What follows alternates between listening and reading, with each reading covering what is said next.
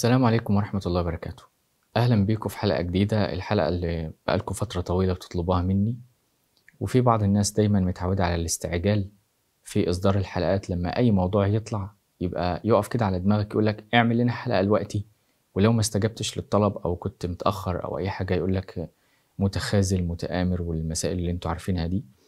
وأنا يعني بحب أقول لكم في بداية الحلقات إن في بداية الحلقة دي أنتوا متعودين معايا دايما إن أنا ما بتكلمش في موضوع معاكم إلا لما أكون بحثت فيه واشتغلت فيه ما بتكلمش بالعاطفة. موضوع بتاع قضية فلسطين وإسرائيل من أكتر المواضيع العاطفية. لدرجة إن العالم كله متعاطف وده بأمر الله يعني ربنا هو اللي حرك المناخ العالمي والعاطفي للشعوب. فكلها اتحركت الناس كلها اتحركت لتأييد. أو أو لدعم القضية دي. لكن كل واحد هو عارف هيشتغل في أي زاوية. أنا مش هطلع أشتغل في مسألة عاطفية غالبية الناس بيشتغلوا فيها. أنا بشتغل في زاوية رؤية الحكمة من الأمر رؤية مآل الأمر. ولذلك بتأخر عليكم عما أشوف الصورة كاملة. التأخر ده بالنسبة للبعض بيبقى عبارة عن حكم سلبي علينا. وإحنا متعودين عادي على المسألة دي. المهم إن أنا الوقت جاي أنقل لكم صورة عن الصراع اللي حاصل. الصورة دي طبعا مستخرجة من القرآن الكريم بتأني و ويعني وتعمق في الأمر. أول حاجة يعني على على على غرار العادة أو يعني بغض النظر عن اهتمامات الشعوب والأمم تأتي تلك القضية قضية فلسطين وقضية إسرائيل لتجمع شعوب الأرض الآن على قلب رجلين. يعني العالم كله من شهرين كان متشتت. كل شعب في وادي كل أمة في وادي كل حكومة في وادي. فجأة يشاء الله سبحانه وتعالى أن يندلع أو يتجدد هذا الصراع. وإذا وإذا بشعوب الأرض فجأة كلها بقى عندها قضية واحدة. والحكومات بقى عندها قضية واحدة سواء القضية سواء هم الحكومات دول كانوا مؤيدين لإسرائيل أو مؤيدين لفلسطين أيا كان هم مؤيدين لمين بس الفكرة نفسها قدرت تخلي العالم كله واقف على وحابس نفسه وواقف على قدم وساق لأجل الموضوع ده. يبقى ده يبين لك إيه؟ إن كل اللي بيحصل ده ترتيب إلهي. لما تلاقي إن العالمين كلهم آه وقفوا على الموضوع واتخذوا من الحق يعني كل شعب كان مشغول من شهرين بحاجة. لا كله اتخذ مرة واحدة وبقى مركز في موضوع واحد يبقى تعرف إن دي آية من آيات الله اللي بتحصل دلوقتي. عود نفسك دايما لما يبقى في حاجة عالمية أو كده وتاخد الناس غصب عنهم من من أيا كان هم بيعملوا إيه يبقى دي تعرف إنها آية. لأن آيات ربنا لما هتيجي على الأرض زي مثلا الدبة لما تخرج زي طلوع الشمس من مغربها إلى آخره من من الآيات الكبرى العالم كله سيتوحد. البشرية كلها لن تتكلم إلا عن الآيات اللي هتيجي من الله عز وجل. زي الآية اللي إحنا بصددها الآن. لازم تتعامل مع القضية دي على إنها آية وعلامة من علامات الساعة مش صراع ما بين اتنين ناس استوطنت عند ناس والمسألة السطحية دي. لا. طيب. اللي أنا هقوله دلوقتي هجاوب على عدة أسئلة منطقية بتطرأ على بالنا كلنا لما كنا بنشوف القضية دي والخناقة دي. أول سؤال. ليه بني إسرائيل اللي إحنا عارفين قصتهم اتشتتوا في الأرض وبعدين رجعوا الأرض فلسطين وزي ما إحنا عارفين إن الفلسطينيين كانوا موجودين قبلهم موجودين قبلهم من زمان جدا؟ آه ليه بقى بني إسرائيل عندهم ده السؤال الأول ليه بني إسرائيل عندهم آه نزعة التوسع مش بس على أرض فلسطين وإنما للعالم كله.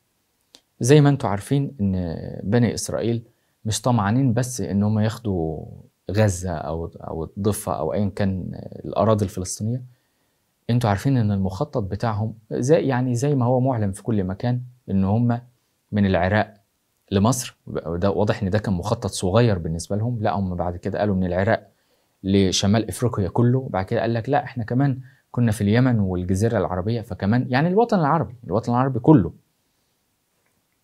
مع إن هم في الوقت اللي هم بيقولوا في الكلام ده متملكين ومتحكمين في أقوى إمبراطورية على سطح الأرض وهي الولايات المتحدة الأمريكية. فالسؤال دلوقتي الناس دي ليه عندها مع إنها عددها قليل جدا ليه عندها نزعة حب الأراضي كده والبلاد مع إن عايشين فيها ناس ومعمرينها وكتار الناس اللي عايشين في الأرض دي؟ ليه بني إسرائيل عندهم المشكلة دي مشكلة الرغبة في أرض الغير بعنف وبقوة. الموضوع ده حصل عند بني إسرائيل في الجيل الأول ليهم أيام النبي موسى. ارجع بقى كده على فكرة كتير من الأشياء اللي بني إسرائيل بيعملوها اتحسمت واتحكم اتحكمت واتكتبت أيام سيدنا موسى. فنرجع كده لأيام سيدنا موسى هتلاقي إن بني إسرائيل لما عصوا موسى وعبدوا العجل وحرفوا أوامر ربنا وهي لسه نازلة لهم بعد ما نجاهم من بطش فرعون. ربنا سبحانه وتعالى حكم عليهم حكم. ما حدش وقف على الحكم ده كتير. الحكم ده هو سبب البلاء اللي البشرية عايشة في الوقت إيه هو؟ ربنا بيقول إيه؟ وضربت عليهم. ضربت. يعني دي حاجة إيه؟ الفعل زي ما بيقولوا في اللغة العربية فعل مبني المجهول يعني حاجة غصب عنهم. وضربت عليهم الذلة والمسكنة. ونقف بقى عند كلمة المسكنة دي. فبني إسرائيل من الجيل الأول ليهم من أيام النبي موسى اتضربت عليهم اتحكم عليهم بالمسكنة. طيب يعني إيه المسكنة؟ أنت عارف طبعا إن في فئة من الناس اسمها المساكين. المساكين الذين لا, أرض لهم ولا مأوى ولا بيت ولا منزل لهم اللي هم بيباتوا في الشارع. الناس اللي. اللي بتنام في الشارع دي اسمها المساكين. وبالتالي في حاجة اسمها المسكنة. المسكنة يعني إيه؟ إن ما عندكش أرض تقويك أو بيت أو منزل ملكش انتماء لأرض بعينها. دي اسمها المسكنة. خد بالك إيه؟ ضربت عليه وبالتالي أصبح بنو إسرائيل في في عمق جيناتهم الوراثية. عندهم بلاء أو مرض اسمه المسكنة. عارف لو هو خد أرض يعني لو الولايات المتحدة الأمريكية بكل ما فيها من من مساحة وجغرافيا وإلى آخره وجيولوجيا وقوة وبني إسرائيل متملكينها ومتحكمين فيها بالكامل هيشعروا إن هم ولا حاجة عايزين أكتر من كده. لو تملكوا الوقت زي ما هم متملكين آه، في أرض فلسطين آه، أراضي كتير فيها برضه هيحسوا إن هم ولا حاجة. شوف لو امتلكوا اليابسة قاطبة جميع قارات العالم مع إنهم شوف قد إيه سيشعروا إن هم برضه أصل ده حاجة زي مرض موضوع المسكنة ضربت عليهم دي حاجة غصب عنهم. عارف لما واحد يبقى عنده مثلا مرض الصرع فغصب عنه بتلاقيه بيقعد يتشنج يتشنج وهو مش واعي يعني ما يقدرش يوقف الحكاية دي. ده حاجة اتحكمت جواه. نفس الفكرة عندهم. هم عندهم ضربت عليهم يعني حاجة عارف زي أهل الكهف كده ضربت وضربنا على أذانهم في الكهف سنين عددة. يعني خلاص لن يستطيعوا أن يسمعوا وهم نايمين في الكهف. نفس الفكرة ضربت. فعل الضرب ده لما يبقى موجود في في الصفات الوراثية يبقى ده معناه إن مهما عملوا ومهما امتلكوا ومهما كانوا بيحكموا مساحات شاسعة من الأراضي لن يستطيعوا إن هم يشعروا بالانتماء وبالاستقرار بقى. عارف بقى إحساس الاستقرار ده؟ اللي هو الاستقرار الأرضي؟ مفيش. ضربت عليهم الذلة والمسكن. وبالتالي والله لو امتلكوا العالم كله ولو امتلكوا اليابسة جميعا ولن يستطيعوا طبعا سيشعروا دايما إن هم مش مكفياهم ومش حاسين بالأمان في أي أرض هم عاملين زي ضيوف في جميع ال ال ال ال الأراضي والبلاد. طيب يبقى اذا ده ده إيه؟ من قبل ما يدخلوا الأرض المقدسة من قبل أصلا ما يعتبوه ضربت عليهم الذلة والمسكنة وهم كانوا أيام سيدنا موسى بعد قصة البقرة وقصة العجل وقصة العيون اللي انفجرت والمسائل دي كلها. ده كان أول سؤال. السؤال ده هيودينا لسؤال تاني. بعد ما هم الوقت عندهم آه، الصفة بتاعت المسكنة دي وبيحاولوا يعوضوها بامتلاك أي أرض يعني عود نفسك دايما. اليهودي أو الإسرائيلي أو اليهودي أي أرض مشى فيها أي جد من أجداده في أي زمن يقول لك دي بتاعتي. يعني أنا هجيبها لك بطريقة هزلية شوية. عارف حمام؟ حمام يدخل واحد منهم يقضي فيه حاجته من ألف سنة.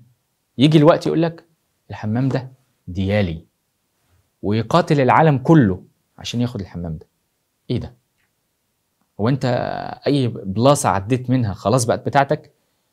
وهم أساسا في جميع الأراضي والبلاد عبارة عن ضيوف ليسوا أصحاب الأرض ولكن أولئك الضيوف عندهم بقى ده اللي هيبان في النقطة الثانية عندهم خاصية خطيرة جدا ظهرت في الرعيل برضو الثاني الرعيل الأول اللي هو كان أيام موسى اتضربت فيهم الذلة والمسكنة. الرعيل الثاني بقى أو الجيل الثاني الجيل بتاع سيدنا داوود.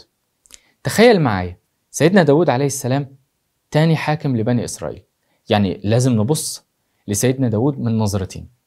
نظرة إن هو نبي وإن هو شخص صالح ونظرة تانية إنه حاكم ممثل لبني إسرائيل. ما تنساش الحتة دي كويس. إنه إيه؟ إنه حاكم إسرائيل سيدنا داوود. إذا تصرفات النبي داوود قبل ما قبل ما يبقى نركز على قضية النبوة تصرفاته كحاكم لبني إسرائيل هتبقى إيه؟ هتبقى لمصلحة بني إسرائيل. دي حاجة ما تزعلش حد. طيب ممكن وارد إن النبي داود عليه السلام يتصرف تصرفات بني إسرائيل كلهم عايزينها وتطلع التصرفات دي منافية للوحي. فيقوم إيه اللي يحصل؟ ينزل الوحي يقول له خد بالك غلط اللي بيحصل. لأن لازم نبص زي ما بقول لك لسيدنا داود من نظرة إن هو حاكم يهودي وفي نفس الوقت عبد صالح. طب حاكم يهودي يعني إيه؟ سيحكم بما تقتضيه المصلحة اليهودية الإسرائيلية. مش كده؟ ده ده كلام منطقي خالص أهو. ولكن لو حاد عن الصراط المستقيم لأنه بقى عبد صالح فينزل الوحي يعدله. هو ده اللي حصل. ده إيه؟ ده تاني حاكم لبني إسرائيل. إيه اللي حصل بقى؟ زي ما بني إسرائيل دايما عندهم ثقافة الاستيطان اللي هو إيه تعدي على أراضي الغير لدرجة إن هم مستعدين يتعدوا على اليابسة جميعا والبر والبحر أيام النبي داود أهو في الجيل الثاني والثالث لبني إسرائيل حصل نفس المشكلة فبني إسرائيل ساعتها في حقبة النبي داود توسعوا جيولوجيا وجغرافيا وألن له الحديد وبقى عندهم تمكن أقوى من مين؟ أقوى من بني أقوى من من من الفلسطينيين. الفلسطينيين كانوا في الوقت ده خارجين من بعدها بفترة من هزيمة الصراع اللي حصل بتاع بني إسرائيل والقوم الجبارين فما كانش لهم أي تأثير. المهم فوصل في عهد النبي داود إن بني إسرائيل أصبح لديهم كل شيء والتانيين اللي موجودين معاهم اللي عايشين دايما معاهم وعلى فكرة دايما ربنا ما بيخليش بني إسرائيل يعيشوا في أرض لوحدهم دايما بيدخل معاهم حد عشان يبقى شاهد على أعمالهم السوداء دي فدايما ما بي يعني لو بصيت مثلا لمصر هتلاقي يملأ مصر المصريين. لو بصيت للعراق هتلاقي يملأ العراق العراقيين. لو بصيت لأرض فلسطين لن تجدها فقط للفلسطينيين ولا فقط لاسرائيل دايما ربنا بيحطهم شهود على بعض. المهم فحصل إن بني إسرائيل في ذلك الوقت من الثقافة الاستيطانيه والتوسعية في جميع المجالات التجارة والزراعة والأرض وكله أصبح لديهم كل شيء. ومش سايبين للطرف الآخر أي شيء. فإيه اللي حصل؟ وسيدنا داود إيه؟ باعتباره حاكم لبني إسرائيل ماشي مع المخطط ال ال الإسرائيلي اليهودي هم عايزين يتوسعوا ويتملكوا كل شيء فهو ماشي من ناحية معاهم لأن هو هو حاكم عليهم. ولكن لأنه بقى من ناحية تانية عبد من عباد الله الصالحين ينزل الوحي على النبي داود عليه السلام ويقول له إيه؟ يا داود إن جعلناك خليفة في الأرض فاحكم بين الناس. خد بالك هنا بين الناس دي الناس. يعني بني إسرائيل وغيرهم بالحق ولا تتبع الهوى فيضلك عن سبيل الله. طب إيه اللي حصل؟ طب ليه الأمر ده ينزل؟ الأمر ده لما تيجي تشوفه لو مثلا اتكلمنا على ذي القرنين ذي القرنين مع إنه مش نبي ما نزلش عليه الأمر ده. شوف شوف ذو القرنين مع إنه ليس نبي زي النبي داود ولكن لم ينزل عليه هذا الأمر. ليه؟ لأن سيدنا داود بيحكم أمة هو ده سلوه طيب لدرجة إيه بقى اللي حصل؟ إن في, في يوم من الأيام سيدنا داود آه أنا قلت لك عبد صالح غير إنه ملك لليهود هو عبد صالح. فكان قاعد في المحراب بيتعبد لله. هنا بقى لأنه في حالة الخلوة مع الله سبحانه وتعالى فهينزل التعديل اللي يبين له إيه الفرق ما بين الحق وما بين مجاملة اليهود. وده إيه؟ ده حاكم لليهود. شوف شوف إزاي. فينزل ملكين في صورة خصمان. وهل أتاك نبأ الخصم إذ تصوروا المحراب؟ المنطقة دي كانت منيعه ما حدش بيعرف يدخل لها ما حدش عارف يوصل لها. فالاثنين اللي عرفوا يوصلوا لها دول مش بشر أصلا دول اللي هم الخصم دول دول كان ملكين تجسدوا للنبي داود عليه السلام عشان يدوا له درس مهم جدا جدا في بداية حكم بني إسرائيل. وهل أتاك نبأ الخصم؟ إذ تصوروا المحراب. إذ دخلوا على داود ففزع منه. ده معناه دا النبي داود لم يكن يتوقع ابدا وده معناه برضه إن هم مش بشر لأن لو كانوا بشر كان هيسمع خبط كان هيستأذنهم كان كان كان الحراسة هتمنعهم إنما دول ملاكين خبط لزق دخلوا ففزع منهم. قالوا لا تخف. خصمان بغى بعضنا على بعض. سبحان الله عز وجل. الخصمين دول هيضربوا لنا تاريخ الصراع الإسرائيلي الفلسطيني من بداية وجود بني إسرائيل هناك. خصمان أهي. تخيل بقى واحد منهم بيمثل اليهود والتاني بيمثل الفلسطينيين. خصمان بغى بعضنا على بعض فاحكم بيننا بالحق. طيب واحد فيهم هيتكلم اللي هيتكلم اللي هو المستضعف. المستضعف اللي خلاص يعني انت لما تبص دلوقتي مين اللي صرخته مالية الجو؟ الفلسطيني لأن هو المستضعف. فده اللي اتكلم. أو أو بالأحرى ده الملاك اللي مثل دور الفلسطيني هو اللي اتكلم هو اللي خد الميكروفون فقال إيه؟ هذا أخي. له هو ده بقى اليهود. تسع وتسعون نعجة ولي نعجة واحدة فقال أكفلنيها وعزني في الخطاب. آه. ده إيه بقى؟ هي الحكاية دي بتاعت الملكين دول أو الخصمين دول جاية لعبد صالح هو ملك على اليهود من فراغ ولا جاية توصل له وتوصل لنا إن دي هتفضل قضية اليهود إلى قيام الساعة؟ بيقول له إيه؟ أخي ده له تسع وتسعون نعجة حرفيا الآن بني إسرائيل في العالم يملكوا تسعة وتسعين يعني لو افترضنا أن العالم ثرواته مية في المية بنو إسرائيل يملكون الآن تسعة وتسعين في المية منها. أنت متخيل؟ تم تمثيل تلك الثروة في النعاج. أخي له تسع وتسعون نعجة. خلاص أنت عايز إيه تاني؟ أنت معاك كل حاجة. ولي نعجة واحدة وهو طمعان فيها وعايزة فقال أكفلنيها وعزني في الخطاب. ففي الحالة دي سيدنا داود بشكل تلقائي لأنه هنا بقى الصراع جاله مفصولا عن هويته عن قوميته. عارف لما أنت بتخرج بره الصندوق بتشوف الصورة صح. طب لما بتبقى جوه الصندوق ما بتشوفش الصورة صح. فالوقت الصراع اللي جه قدام النبي داود عليه السلام كان هو بقى بره الصندوق. ده خصمين قدامه ده عنده 99 وده عنده آه واحدة نعجة واحدة وده عايز منه طمعان في الواحدة دي. فسيدنا داود لأنه بقى بره الصندوق قال له إيه؟ الرد البديهي. قال لقد ظلمك بسؤال نعجتك إلى نعاجه وإن كثيرا من الخلطاء لا يبغي بعضهم على بعض. شوف هنا بقى النبي داود عليه السلام طلع الحكم المنطقي الصحيح لأنه بره الصندوق. وبعدين بقى سيدنا داود قام إيه الملاكين خرجوا طاروا كده من قدامه وبعدين قال إيه ده؟ هم مين دول وجوم ليه؟ وإيه؟ إيه الرسالة اللي بتوصلني من ورا من ورا المشهد ده؟ هنا بقى وظن داود أنما فتناه فاستغفر ربه استغفر ربه يعني إيه؟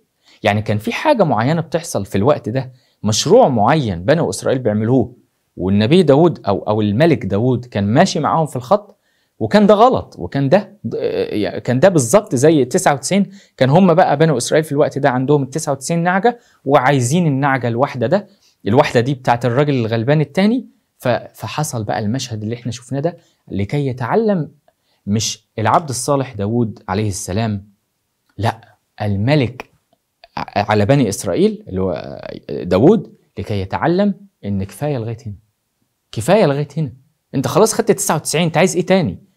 أنت عارف يعني لو أنت عارف يعني إيه تاخد 100% أنت دلوقتي خدت 99 ده أقصى رقم للثروة. الواحد في المية اللي باقي ده لا يجوز شرعا لك إنك تاخده. لأنك لو خدته يبقى أنت بتحكم على الباقي ده بالموت لأنه لن يتغذى. عارف لما يبقى فيه في مشروع استثماري أو في السوق في أي بلد حيتان كبار ماسكين غالبية السوق يجب الا يتعدى نسبة امتلاك الحيتان الكبيرة للسوق 99% ما ينفعش توصل 100% لأن لو وصلت 100% يبقى الناس الكتير الباقية دي علما بأنهم عددهم كبير يبقى أنت كلت كلت قوت يومهم. فهنا ده الموقف الثاني يبقى الموقف الأولاني أو النقطة الأولانية إن في الجيل الأول ربنا حكم عليهم بإيه؟ بالمسكنة. وبالتالي المسكنة دي مهما امتلكوا من أرض هيفضلوا حاسين إن هم لا تكفيهم. النقطة الثانية إن اتكررت الحك... اتكررت الحكاية أيام النبي داود عليه السلام عن طريق قصة ال 99 نعجه والنعجه الثانية طيب يقوم يحصل إيه بقى؟ الناس دي قلنا إن هم عندهم مشاكل. بني إسرائيل عندهم مشاكل ومشاكلهم اعيت العالم. يعني خد بالك إن العالم الوقتي الدول كلها الوقت لو عايزة تحل قضية فلسطين وإسرائيل دي لن تستطيع. شوف جبروت الأمم روسيا الصين أمريكا فرنسا إنجلترا والله الأمم بجبروتها لن تستطيع حل النزاع ما بين أبو 99 نعجه وأبو نعجه واحدة. الصراع ده موجود من زمان جدا من قبل ما يبقى في دول. فلن يستطيع حل هذا الصراع سوى رب العالمين وسننه بقى اللي بنتكلم عليها دلوقتي. طيب يستمر في الحكم آه، في قصة ال 99 بقى والتملك القوي ده بنو إسرائيل. وطبعا في الوقت ده ما كانوش آه، عندهم ال 99 نعجة والملك والقوة والجبروت ده ومؤمنين صالحين. لا ده كانوا كل يعني كل ما تشهده البشرية من أعمال سيئة ومدنسة. وفي هنا برضو نقطة هتكلم عليها ربما في فيديو جاي أرض فلسطين الأرض دي إيه حكايتها؟ الأرض الجيولوجيا. في إيه؟ إيه المغنطة اللي, خلتهم يروحوا الأرض دي بالتحديد؟ إشمعنى الأرض دي؟ هنتكلم عليها في نقطة تانية لأن الذنب أو المعصية أو القتل أو الصلاة في أرض فلسطين ب 500 ضعف. يعني وبالتالي بقى طالما الصلاة هناك ب 500 ضعف يبقى القتل أو الذنب أو المعصية ب 500 ضعف. زي فكرة كده المسجد الحرام الصلاة فيه ب 100000 يبقى المعصية عند المسجد الحرام ب 100000 ضعف. فدي قضية هنتكلم عليها بعدين إن شاء الله في فيديو جاي. ولكن خلينا نرجع دلوقتي للنقاط الاجتماعية والإدارية والسياسية. فبنو إسرائيل آه، آه، خلاص وصل آه، قاعدين بقى زي الراجل أبو 99 نعجه قاعدين بيظلموا في الراجل في الراجل أبو نعجه واحدة ده. لغاية ما حصل إيه؟ ربنا سبحانه وتعالى دايما بي بيوقع الطاغية والظالم بأصغر وأضعف يعني طرف. يعني لا تتوقع إن اللي هيوقف بنو إسرائيل دلوقتي في العالم و يزيل شوكتهم. اوعى تتوقع إنه الغرب أو الشرق أو أو الدول العربية أو الدول العربية. اوعى تتوقع كده.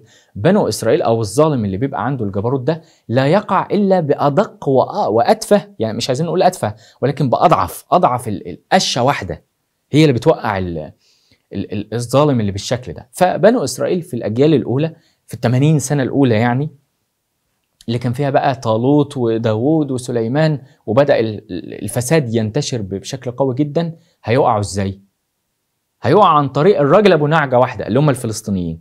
يجب أن تتعلم ده بقى كلام أهو يعني أول مرة بقوله أن الفلسطينيين ذكروا في القرآن الكريم. ده بقى تصريح لأول مرة بقوله ذكر الله سبحانه وتعالى الفلسطينيين في كتابه الكريم. ولكن في سياق الصراع مع بني إسرائيل وإبطال هيمنته.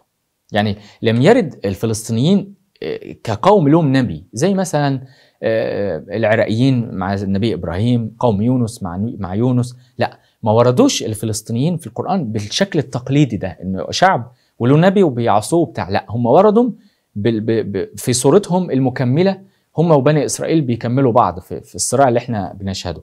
فورد. أين وردوا بقى؟ طبعا في قصة ال ال القوم الجبارين اللي هنرجع لها إن شاء الله تاني ولكن أنا عايز أتكلم على الفلسطينيين بقى اللي وردوا اللي, بق... اللي بقوا اللي ما زالوا باقيين إلى الآن اللي وردوا في سورة الإسراء اسمع كده الآيات وشوف مدى تطابق الآيات دي مع الفلسطينيين بالتحديد ومع الواقع اللي إحنا عايشين فيه دلوقتي ربنا بيقول إيه؟ وقضينا إلى بني إسرائيل في الكتاب لتفسدن في الأرض مرتين والحمد لله أنهم مرتين فقط. لأن الناس دي لو أفسدوا أكتر من كده يبقى يبقى أقول على الأرض السلام. ده هم شوف على رأي فرعون إنهم لشرذمة قليلون وإنهم لنا لغائظون. شوف فرعون من آلاف السنين وكان يعني ماسك قارش ملحته. المهم فربنا بيقول إيه؟ هتفسدون في الأرض مرتين. ماشي. فإذا جاء وعد اولاهما بعثنا. كلمة بعثنا دي دليل على إيه؟ إن الناس اللي هتطلع تبطل هيمنة بني إسرائيل ناس مش باينة. كأنهم من تحت الركام. عارف كلمة مش أرسلنا عليكم عبادا لنا لا عارف بعث يعني إيه؟ يعني الحاجة اللي قدامك تبدو إن هي ميتة وراكدة وهوبا خبط لزق كده تلاقي منها جيش خرج منها. كلمة بعث دي يعني حاجة شبه ميتة. وهو ده فعلا اللي حصل وقتي أمة مستضعفة شبه ميتة ما عندهاش جيش ما عندهاش أسلحة ما عندهاش طيران ما عندهاش وزارة دفاع ومش ما عندهاش. يعني شبه ميتة فجأة بيطلع منهم كأنهم بيبعثوا من من الموت كده. بعثنا عليكم يعني خد بالك بعثنا. يعني ده فعل إلهي. يعني اللي بيحصل دلوقتي في فلسطين كل ده تحريك إلهي تدبير إلهي. بعثنا عليكم. عبادا لنا. ودي قضية يعني الناس اللي دلوقتي اللي في فلسطين أو الفلسطينيين لما ربنا يقول عليهم عبادا لنا دي أعتقد دي وسام على صدورهم جميعا إن ربنا نسبهم له بعثنا عليكم عبادا لنا أولي بأس شديد. هنا بقى في حاجة غريبة جدا. أولي إيه؟ أولي بأس شديد. كلمة بأس دي لما شفتها في القرآن وردت مع مع اليمنيين مع مع سبأ. عارف آه، ملكة ملكة بلقيس؟ قومها قالوا لها إيه؟ جيش. جيش اليمن قال لما قالت لهم إن في أرسل إلي كتاب ألقي إلي كتاب كريم وبتاع قالوا لها إيه؟ قالوا لها ده جيش بقى دولة. قالوا لها نحن أولو قوة وأولو بأس شديد. حط كده الاثنين دول جنب بعض.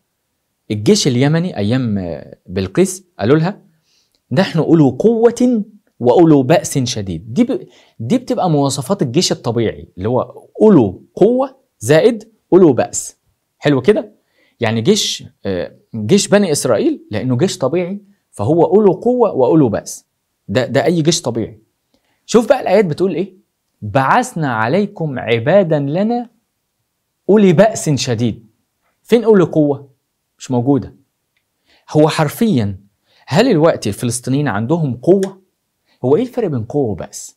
عارف قوة يعني إيه؟ يعني دفاع؟ يعني مدرعات؟ يعني يعني طيارات دي دي اسمها قوة نحن نقول قوة. أما بقى صفات الجند صفات الجندي نفسه دي اسمها بأس. فرق ما بين الاثنين فأي جيش بيبقى عبارة عن قوة زائد بأس. نحن أولو قوة وأولو بأس شديد. البأس ده اللي هو بقى صفاتنا النفسية كجنود. شوف ربنا بيقول إيه؟ بعثنا عليكم عبادا لنا مش أولي قوة لأن فعليا الفلسطينيين ما عندهمش قوة.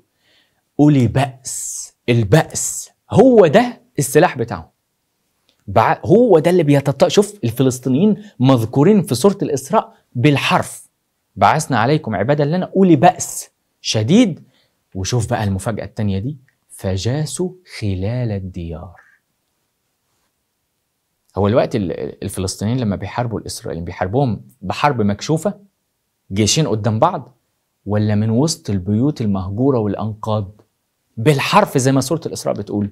فجاسوا خلال وخد بالك كلمة جاسوا دي فربنا بيقول إيه؟ فجاسوا خلال الديار. ده معناه إن المرة الأولانية المرة الأولانية اللي حصلت من من من, من عشرات القرون اللي الفلسطينيين آه، أزالوا فيها هيمنة بني إسرائيل كانت بنفس الطريقة اللي بتحصل دلوقتي. لأن هو بنص بدقة الكلمات الفلسطينيين ما عندهمش قوة ما عندهمش جيش ما عندهمش أدوات الجيش الطبيعيه فهم بس عندهم البأس الشديد. طيب أنت ما عندكش القوة الطبيعية هل هتحارب حرب مكشوفة؟ هل تقدر تحارب حرب مكشوفة؟ ما تقدرش. وبالتالي بتحارب حرب إيه؟ خلال الديار بالظبط زي ما بيحصل دلوقتي. وده مش مش جديد عليهم. يعني الطريقة اللي بيعملها الفلسطينيين دلوقتي في في مجابهه بني إسرائيل دي مش أول مرة يعملوها ده عملوها من قرون. يعني أعتقد كده أو أتصور زمان كانوا برضه بيتخبوا في بيوت أو بيتخبوا في أزقة معينة ضيقة ويعدي جنود من بني إسرائيل كده. طبعا كانت الحروب ساعتها بالسيوف وبتاع ما كانش لسه زي دلوقتي. فيقوموا إيه يضربوهم ويقوموا يختفوا. كأنهم بي بي بيقبوا من من على وش الأرض للحظات وبعدين يختفوا ما يعرفوش هم بيطلعوا من واحدة واحدة واحدة واحدة لغاية ما خلصهم وأزالوا يعني كبرياء ذلك أو أو تلك الأمة. فجاسوا خلال الديار وكان وعدا مفعولا. حلو كده. ثم رددنا لكم الكرة عليهم. من أكتر الناس الآن تعرضوا لظلم وبطش بني إسرائيل بشكل يعني مباشر؟ إحنا كلنا على فكرة في العالم تعرضنا لظلم آه، واتظلمنا من من اليهود. جميع جميع الأمم في العالم آه، تعرضت بدرجة من الدرجات يعني لإفساد لأن ربنا قال لا تفسدون في الأرض كلها مرتين. فإحنا كلنا تعرضنا للإفساد بتاع بني إسرائيل. الكيمتري اللي بيترمى في الجو الكورونا الحاجات اللي كانوا كل شوية بيطلعوها الأمراض اللي عملوها المسائل دي كلها وهنرجع هيبقى لنا حلقة إن شاء الله جاية. آه، يعني مش عايز أحرق عشان بس ما يحصلش حاجة ما نقطعش. المهم أرجع للي كنت بقوله. فهنا آه، ربنا بيقول إيه؟ ثم رددنا لكم الكرة عليه. وأمددناكم بأموال وبنين وجعلناكم. كل ده ربنا اللي بيعمله. خد بالك من إحنا اللي عملنا. امددناكم رددنا لكم الكرة عليهم. ربنا هو اللي بيعمل كل الحاجات دي. ثم رددنا لكم الكرة عليهم وأمددناكم بأموال وبنين وجعلناكم أكثر نفيرا بعدين بقى نحطكم في اختبار. إن أحسنتم أحسنتم لأنفسكم وإن أسأتم فلها فإذا جاء وعد الآخرة. والآيات بتكمل. ما قالش إيه بعثنا عليكم عباد من جديد. لا هم هم. ليسوء تحس كده الألفاظ الأفعال مكملة على نفس الضمير عائد على مين؟ على العبادة لنا اللي أولي بأس مش أولي قوه الحتة دي مهمة جدا. فاللي هم اللي هم بي بي بيقضوا على بني إسرائيل إزاي؟ بال بال بالطريقة بتاعت فجاسوا خلال الديار من من البيوت المهجورة والأنقاض ما حدش يعرف يشوفهم أصلا. فربنا بيقول إيه؟ فإذا جاء وعد الآخرة هنا بقى هيحصل ثلاث حاجات. هيكملوا زي المرة الأولى. برضه هيجوسوا خلال الديار. وكلمة جاسة دي عارف بيجي منها كلمة جاسوس. جاسة؟ جاسوس. الجاسوس ما حدش بيشوفه ما حدش بيتوقعه. بيبقى ماشي وما حدش عارف إن ده جاسوس. هي نفس الفكرة. جاسوا خلال الديار يعني اتحركوا بطريقة خفية بطريقة غير لا يمكن تتبعها. مع إن في تكنولوجيا الرصد ومش عارف إيه والنظام الحراري والكاميرات اللي بتتتبع الاوجه كل ده في شنك لما ربنا بيقول بعثنا عليكم عبادا لنا ويجاسوا خلال الديار. يبقى انسى بقى كل التكنولوجيا بتاع انسى. ده ده شغل إلهي وشغل ملائكة. فربنا بيقول إيه؟ فإذا جاء وعد الآخرة ليسوءوا وجوهكم. يبقى في هنا ثلاث مراحل. أول حاجة إن هم البيزك إن هم هيخشوا برضو خلال الديار زي زي عادتهم وهيبدأوا يقضوا على بني إسرائيل من خلال الديار بشكل خافي كده. هيبدأ بقى بني إسرائيل يحصل لهم ثلاث حاجات. يسوء وجوهكم. اتنين. يدخلوا المسجد كما دخلوه أول مرة. الله. ده بقى معناه إن كان في مسجد من آلاف السنين في الحتة دي. ومعناه برضو إن هم اطردوا من المسجد ده اليهود طردوهم من المسجد ده وإن نفس الفكرة بتاع الزمن بيعيد نفسه. واضح إن القضية دي من آلاف السنين برضو كان في مسجد وكان في طرد وكان في فكرة الهاجس وتحرير المسجد. هو هنا مش موضح الآية مش موضحة. هو إيه اسم المسجد؟ هو قال إيه؟ ولا يدخلوا المسجد؟ هو ما قالش المسجد الأقصى. هو قال لي يدخلوا المسجد. يبقى واضح إن في مسجد عليه الإشارة وعليه الطلب دايما في القصة دي وفي الصراع ده. فربنا بيقول لي نبدأ بقى نمسك ثلاث مراحل. دي بقى اللي إحنا ده أنت بتقول إيه مستقبل الصراع؟ الناس بتسأل هو إيه اللي هيحصل السنة الجاية؟ الثلاث حاجات دول بدأوا يحصلوا خلاص. أول حاجة ليسوءوا وجوهكم. إيه يعني إيه يسوء وجوهكم؟ أكتر سنة وأكتر فترة بدأت سمعة وراس مال أي حاجة هي السمعة. بدأت سمعة بني إسرائيل تتكركب وتتفضح وتتسوق يعني جاية من السوق في العالم اللي بيحصل دلوقتي. شوف ربنا سبحانه شوف اللي شوف مدى على فكرة اللي, اللي ده, ده كلام ربنا يعني من قبل ما الأحداث دي تحصل وهي مكتوبة كده في عالم الأمر فشوف عظمة القرآن عظمة كلام الله بالملي. إيه اللي بيحصل الوقت لإسرائيل؟ جوه إسرائيل وبره إسرائيل في العالم كله. فضح وتشويه وإساءة للسمعة لا مثيل لها. ليسوءوا وجوهكم. يا سلام على التطابق. دي أول مرحلة. إذا العباد اللي أنا اللي يقول لي بأس هيجوسوا خلال الديار بالطريقة المعتادة بتاعتهم. فيفضلوا بقى يستنزفوا فيكم وتدخلوا وتتضربوا بني إسرائيل يدخلوا ويتضربوا. وبعدين يبدأ بقى سورة بني إسرائيل. ليه؟ ليه أول مرحلة يسوء وجوهكم؟ يبقى دي تعرف إن قبل قبل ما يحصل الأحداث دي كان بني إسرائيل شغالين على تحسين سمعتهم في العالم بكذب وافتراء. هم أصلا دايما كذابين زي ما إحنا عارفين. فبيستعملوا الكذب في إن هم يحطوا نفسهم هم زي ما إحنا متعودين إن الكذب بتاعهم استعملوه في إن هم اللي لهم الحق وهم اللي آه، الناس كلها غلط وهم اللي صح. فهم استعملوا الكذب في إيه؟ في تلميع وتحسين صورتهم وفرض فرض سمعتهم على العالم إنها دايما سمعة مقدسة. يبقى أول حاجة هتحصل إيه في المقابل؟ ضرب تلك السمعة. بس كده. ليسوءوا وجوهكم. كل وش يهودي هيجي علينا زمن هيبقى أي واحد يهودي مش عارف يطلع وشه إنه يهودي ويبان قدام الناس. يبقى اذا عملية إساءة الوجه دي أو فضح السمعة ستظل ممتدة. من سنة 2023 هي بدأت الوقت خلاص؟ ستظل ممتدة الشهور والسنوات الجاية إلى أن يصبح وش ال وش ال أو وشوش بني إسرائيل عبارة عن حاجة يعني آه، منفرة جدا للناس. وبالتالي مش هيبقى لهم وش يطلعوا بيه. عارف لما بيقول لك إيه ده ده أكا أزا يعني أزال ماء وجهه أو ذهب ماء ملوش وش يعرف يتكلم هو نفس الفكرة كده ليسوءوا وجوهكم. أدي أول مرحلة. الفكرة بقى بتاعت تحرير المسجد دي موجودة أهي في سورة الإسراء. وليدخلوا المسجد يبقى دي معناها إيه؟ إن هيحصل آه، آه، يعني إن الفلسطينيين هيحصل آه، يفضلوا بقى يزقوا هيحصل انحسار عند بني إسرائيل يرجعوا لورا ودول يزقوا لقدام ودول يرجعوا لورا فيوصلوا للمسجد. أهو بنص القرآن ليدخلوا المسجد مش دي مش مش جديدة كما دخلوه أول مرة.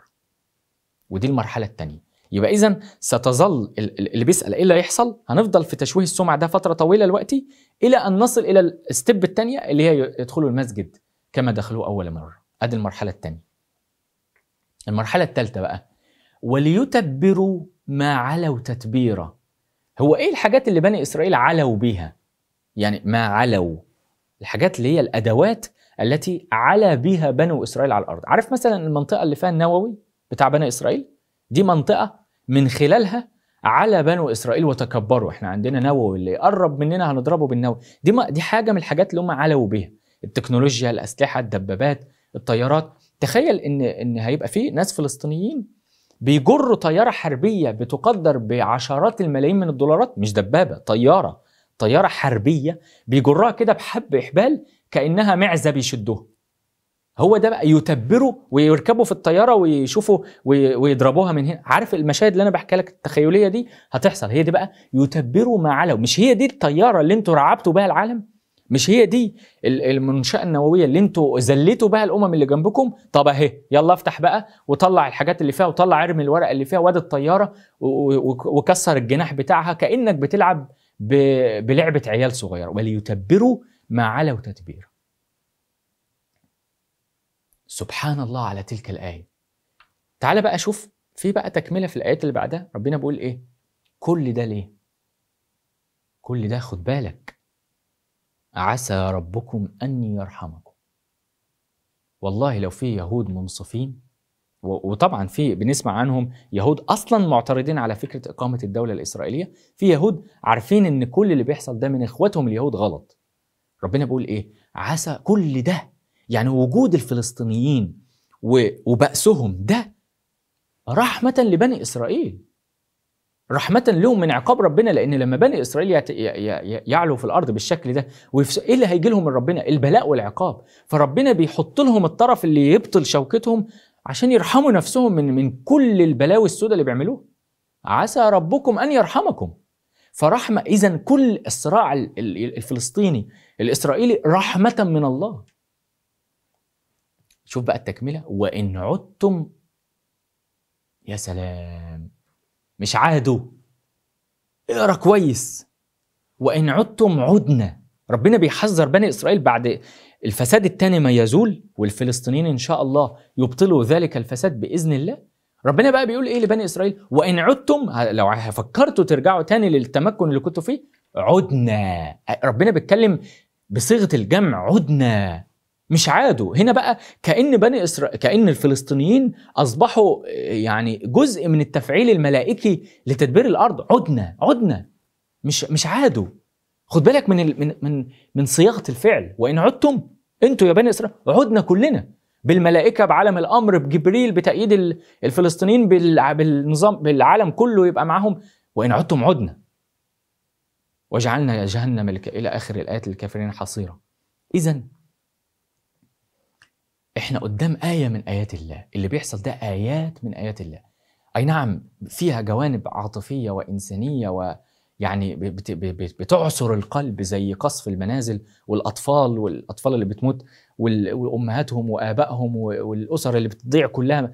كل دي في ميزان وفي صحائف بني إسرائيل السوداء. وربنا سبحانه وتعالى حكم عليهم. أي نفس واحدة هتتقتل هيقتلها فرد من بني إسرائيل بتعادل البشرية كلها. من أجل ذلك كتبنا على بني إسرائيل أنه من قتل نفسا بغير نفس نفس واحد.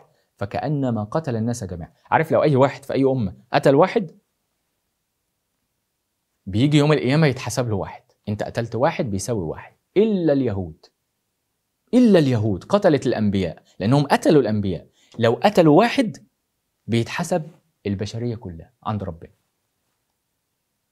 اذا من رحمة ربنا باليهود إنه يوقفهم بقى. إنه إنه يحرك يحرك ويدعم. يعني خد بالك لو لو الفلسطينيين لم يأخذوا أي دعم من أي حد في العالم فده معناه إن إيه؟ إن ربنا بيجردهم من دعم الأمم عشان الأمم تتمحص. عارف اللي بيحصل ده بيمحص الأمم. اللي إحنا إحنا بقول لك في في يعني آية من آيات الله وبالتالي الأمم بدأت تكشف وجوهها الحقيقية. عشان ربنا وملائكته يدعمون الفلسطينيين. إذا ما يحدث الآن آية من آيات الله وعلامة من علامات الساعة وده بقى الأصعب إن ده علامة من علامات الساعة لبني إسرائيل إن الساعة قربت ودخل علينا خلاص الساعة وفي نفس الوقت علامة من علامات الساعة لبقية الأمم التي تقف شاهدة على التاريخ الذي أصبح وأوشك على الانتهاء. ما يحدث الآن بيعني أن التاريخ الإنساني أوشك على الانتهاء ولذلك كان ربنا أو كانت قصة بني إسرائيل وصراعهم آه، عقرب زي ما أنا قلت قبل كده من عقارب الساعة لكي يتعظ الناس ولكي يروا بأم أعينهم اقتراب الساعة مننا. عسى ربنا أن يرحمنا جميعا. أسأل الله سبحانه وتعالى أنه يغفر لنا ويعني لا تدخل علينا الساعة إلا ونحن مؤمنين ومحسنين ومصلحين في الأرض وصالحين. و... وأن يعني يعني إن ربنا سبحانه وتعالى ي... عارف الصراع اللي حصل ده بقى يخلص بقى. يعني الأرواح اللي بنشوفها كل يوم بتموت والأطفال اللي بنشوفها وبتعصر القلوب. يعني نفسنا بقى يعني خلاص الآيات إحنا عارفين إيه اللي هيحصل. بس أنا أتمنى إن إن يحصل خلاص بقى في خلال شهور تتم ت- آيات يعني آيات سورة الإسراء دي يبقى مداها الزمني شهور مش سنين. نتمنى إن ربنا سبحانه وتعالى أسرع الحاسبين إنها تتم في ظرف آه، يعني شهور وليس سنوات طويلة. لأن خلاص هم كملوا 75 سنة يعني فاضل فاضل كام عشان يكملوا 80 سنة؟ يعني خلاص ال ال ال- إحنا في الوقت الضايع. ال 90 دقيقة بتاعت الماتش خلصت. إحنا في ال- الوقت البدل الضايع اللي بيبقى المباريات الإضافية. إحنا إنما وقت الماتش الأصل خلص. فنتمنى من الله سبحانه وتعالى أن يغفر لنا ويرحمنا. ويرحم كل من سقطوا من من الأطفال والرجال والنساء والكبار وكل من ماتوا في هذا الصراع في لدى الفلسطينيين المستضعفين وأن يؤيدهم أن يؤيدهم وينصرهم ويرينا تلك الآيات ويرحم اليهود وبني إسرائيل من أنفسهم ومن أعمالهم لأن هم كمان فيهم ناس مصلحين وصالحين ولكن لا يب لا يظهروا ابدا في تلك ال- الحالة ال- ال- ال- السيئة اللي الغالبية من اليهود عايشين فيها. أشوفكم على خير إن شاء الله في حلقة جاية وبذكركم إن إحنا عندنا دورة خطيرة جدا ومهمة جدا شغالين فيها هذه الأيام من من الدورات الفارقة يعني قبل ما الدنيا تقفل وتتلم كده أنا إحنا بنقول الساعة داخلة علينا يعني إذا قامت الساعة وفي يد أحدكم فسيلة فليغرسها. إحنا من أواخر ال- الفسائل على ما على ما أظن يعني اللي بنغرسها دورة من الدورات في علم ما تعرفش عنه حاجة اسمه علم الأرقام والأعداد. هتبقى يوم 2 ديسمبر الرابط موجود أسفل الفيديو وأشوفكم على خير في الفيديوهات الجميلة بتاعتها والاكتشافات اللي بتطلع فيها. والسلام عليكم ورحمة الله وبركاته.